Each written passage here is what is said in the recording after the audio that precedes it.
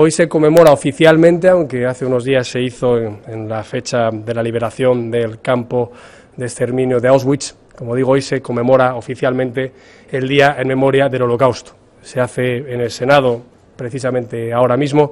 y creo que desde el partido queremos recordar ese Día de la Infamia y sobre todo prevenir de actos de antisemitismo que se siguen sufriendo en España, muy en especial en aquellos ayuntamientos que se denominan del cambio y que siguen promoviendo y aprobando campañas de desinversión, boicot y sanción que son absolutamente, en nuestra opinión, intolerables.